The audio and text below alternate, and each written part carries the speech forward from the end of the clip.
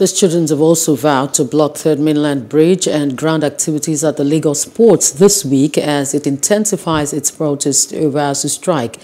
They have threatened to go on a week-long protest until the federal government accedes to its demands and find a common ground with ASUU. The students accuse the federal government of deliberately denying the children of common Nigerians access to quality education.